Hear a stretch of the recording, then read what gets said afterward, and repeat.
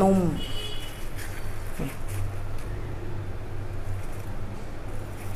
ความนิ่มนิ่มมากเลย เราไม่แข็งกระด้าง สวัสดีค่ะ มีคนขอให้ทำโรตีจาปาตีอีกสักครั้งนะคะแต่ไม่หญิงจะทำให้ดูเลย เอาแบบว่า สดๆ ต่อเนื่องไปเลยนะคะ ตัวนี้คือแป้งโฮลวีต เราจะใช้แป้งโฮวีตในการทำโรตีนะคะ เป็นแป้งโฮวีตล้วน ไม่ผสมแป้งสาลีนะคะ แป้งสาแป้งขาวอะค่ะไม่ใส่นะ เราก็จะเอาอ่างผสมมา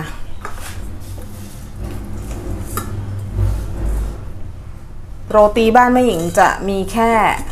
แป้งโฮวีตกับน้ำเท่านั้นนะคะ ใช้แป้งโฮวีต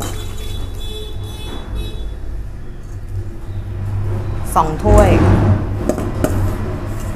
อะ ทั้งหมดนี่คือสามถ้วย โอเคเนาะ แป้งสามถ้วยนะคะ แล้วก็ใช้ถ้วยไหนตวงแป้ง ให้ใช้ถ้วยนั้นตวงน้ำ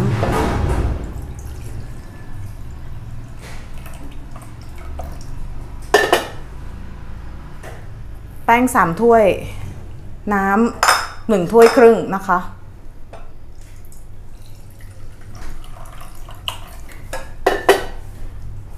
หนึ่งถ้วยครึ่งนี่คือใส่ไปก่อนเพิ่มรสได้ ล้างมือให้สะอาดนะคะ แล้วใช้มือค่ะ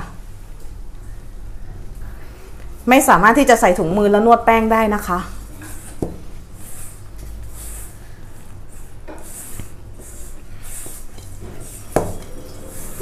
อย่าเพิ่งขยำนะ เวลานวดแป้งทำโรตี ให้เอามือกวนกวนแป้งกับน้ำให้เข้ากันก่อน ยังไม่ต้องขยำ เขาเรียกว่าอะไร เคล้ากันไหมอืม เคล้าแป้งกับน้ำให้เข้ากันก่อน ยังไม่ต้องขึ้นโด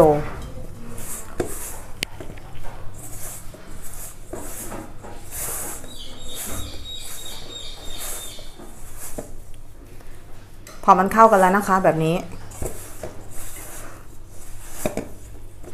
ก็นวดค่ะ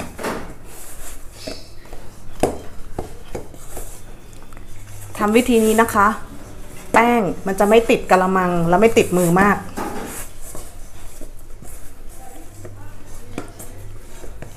สัดส่วนระหว่างน้ำกับแป้งเพิ่มลดได้นะคะ เพราะว่าแป้งแต่ละที่เนี่ยความชื้นไม่เท่ากัน แป้งแห้งมากก็ใส่น้ำมาก แป้งมีความชื้นมากก็ใส่น้ำน้อย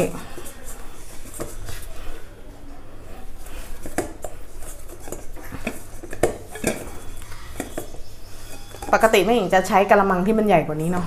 ถ้าเราทำเยอะๆ อันนี้ลือทำไม่เยอะค่ะ นิดหน่อย ประมาณครึ่งกิโล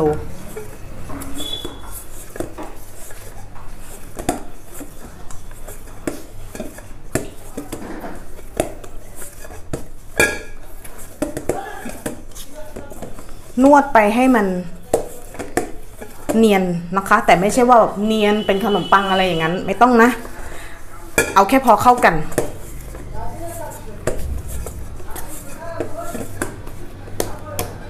แบบนี้นะคะ แล้วเราก็จะปิดฝา พักแป้งไว้ประมาณ 20 นาทีนะคะ เพื่อ เพื่อให้กลูเตนเขาทำงานถ้าเราไม่พักแป้ง เดี๋ยวแม่งจะทำให้ดูนิดนึง สมมุติว่าเรานวดแป้งนะคะแล้วทำโรตีเลย โดยที่ไม่พักแป้ง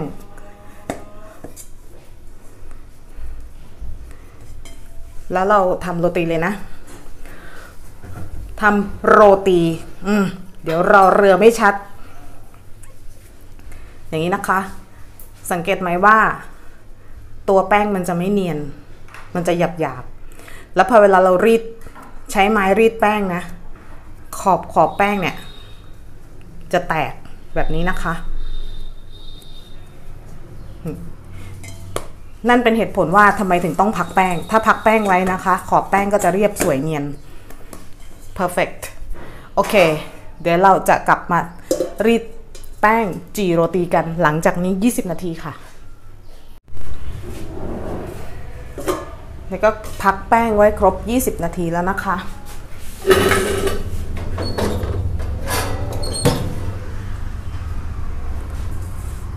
เราก็จะเตรียมแป้งโฮวีตนะคะ อีกเอาใส่ไว้อีกจานหนึ่งไว้สำหรับเป็นแป้งนวลนนะคะ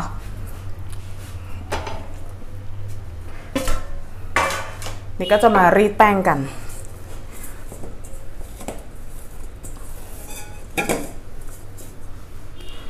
เดี๋ยวแม่หญิงจะจี่โรตีให้ดูนะคะ ทั้งสองกระทะก็คือเป็น ทั้งกระทะ แบนตาวานะคะของอินเดีย แล้วก็กระทะแบนแบบนอนสติ๊กนะคะเผื่อบางใครบางคนบางใครโอ้ยเผื่อบางคนนะคะไม่มีกระทะตาวา แต่มีกระทะนอนสติ๊กก็ทำได้นี่นะคะ แบ่งแป้งออกมานะคะ เป็นก้อนขนาดที่เราต้องการ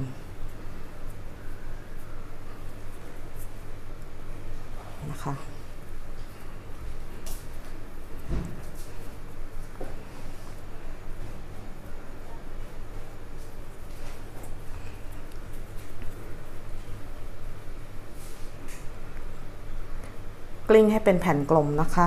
ไม่ใช่แผ่นกลมกลิ้งให้เป็นกลมๆคือไม่มีรอยแตกนะคะ แล้วเอาชุบแป้งนวลค่ะ วางไว้ บางคนเขาก็จะทำทีละแผ่นนะคะ ทีละลูกชุบทีหนึ่งแล้วก็รีดทีหนึ่งแล้วก็ปิ้งทีหนึ่งแต่ไม่อย่างนั้นชอบทำเป็นลูกๆเอาไว้เลย มันเร็วดี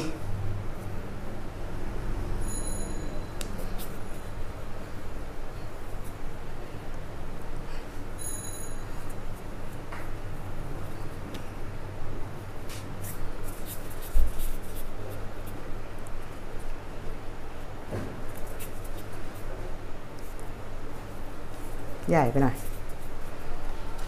อมเส ร็จแล้วก็รีดนะคะ ระหว่างรีดแป้งเนี่ยถ้าเกิดว่าเขาติดนะ ก็ให้ชุบแป้งนวลได้ตลอดนะคะ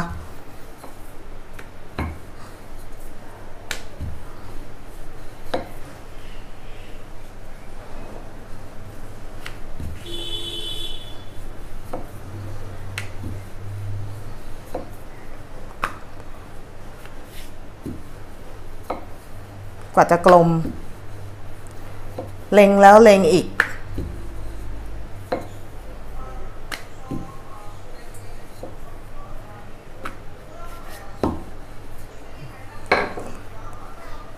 ก็ได้ตามแผ่นบางขนาดนี้แล้วนะคะ บางขนาดไหนนี่ประมาณนี้นะคะอะเดี๋ยวจะรีดอีกสักแผ่นหนึ่ง แล้วเอาไปจี่ในกระทะอินเดียก่อน เนาะ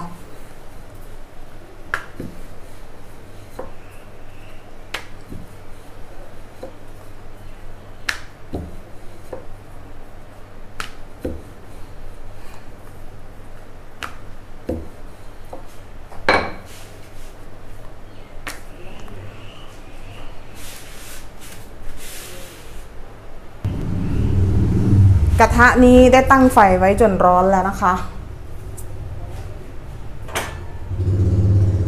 ไฟอ่อนๆนะคะ เวลาเราจี่โรตีครั้งแรก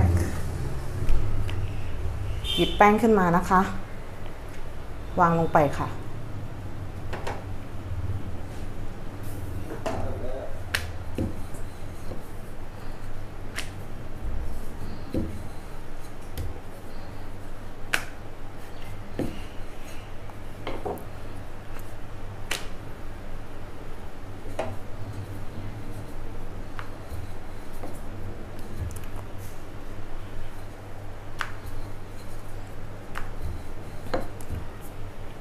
อยากรู้ว่าใช้ได้ไม่ได้ ให้แอบพลิกดู โดยใช้ที่คีบนะคะ ถ้าเป็นสีขาวๆแล้วก็มีปุดๆนิดหน่อยนะคะ ก็ให้กลับ ไฟยังอ่อนเหมือนเดิมนะคะ ไฟอย่าไปยุ่งกับเขา อ่อนไปก่อน พอเรากลับอีกด้านหนึ่งเราจะเริ่มเห็นว่าโรตีกำลังจะพอง แผ่นแป้งนะคะ เริ่มพองขึ้นมานิดๆ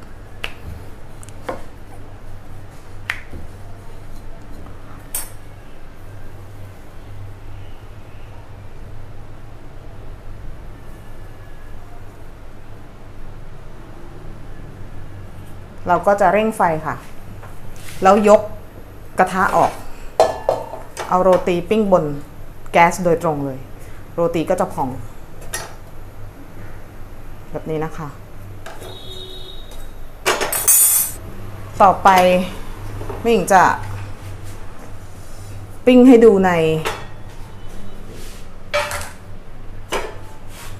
กระทะนอนสติ๊กนะคะ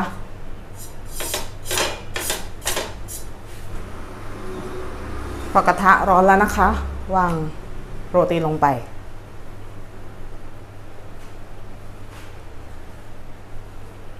สเต็ปเดียวกันค่ะ คือไฟอ่อน แล้วก็รอให้นางพองปุดๆขึ้นมานิดนึง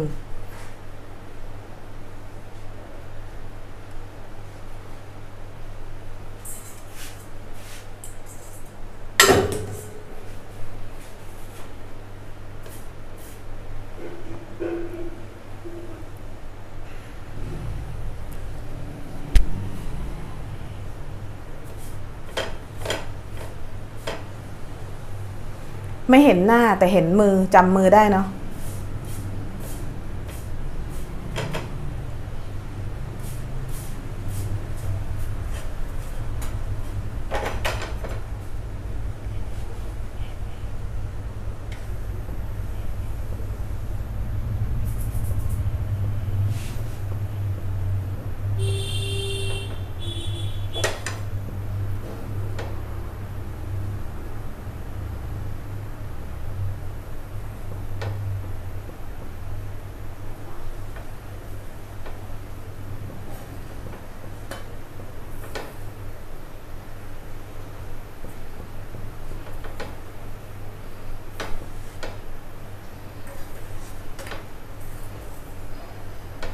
ก็สเต็ปเดียวกันนะคะ ยกกระทะออก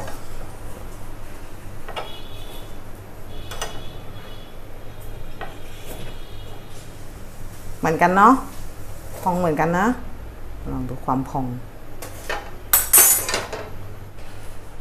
ทีนี้เราทำโรตีเสร็จแล้วใช่ไหมคะหนูจะบอกวิธีการเก็บโรตียังไงให้นุ่มนะคะ ในกรณีที่เราไม่มีโถเก็บโรตีนะคะ เฉพาะ เราก็ใช้หม้ออะไรก็ได้ค่ะ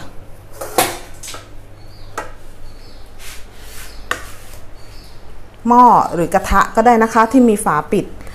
แล้วเราก็เอาโรตีอะค่ะ ที่เราวางไว้บนผ้าขาวบาง บนห่อผ้าขาวบางเนี้ยเห็นไหมคะนี่คือทำเสร็จแล้วโรตียังร้อนอยู่เลยนะ แล้วเราเอาผ้าขาวบางอีกชั้นนึงอะค่ะ ปิดห่อเขาไว้นะคะ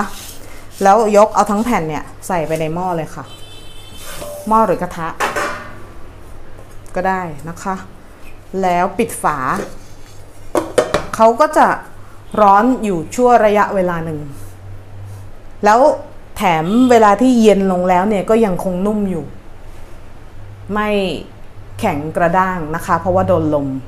เนี่ยเขาเรียกว่าห่ออะ ลืมฉีกเนื้อให้ดูนะคะ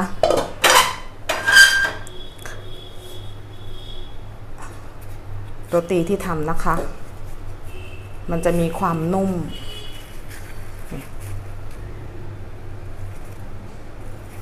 ความนิ่มนิ่มมากเลย เราไม่แข็งกระด้าง เวลาเราฉีกออกมา ด้านในก็กลวงด้วย เห็นไหมคะ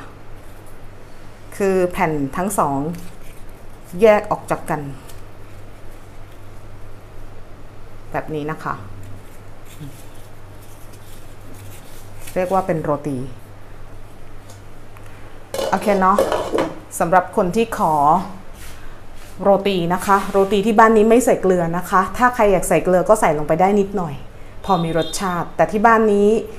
เขากินโรตีไม่ใส่เกลือค่ะ แค่แป้งโฮวิตกับน้ำเท่านั้น แล้วพบกันคลิปหน้าขอบคุณที่รับชมค่ะ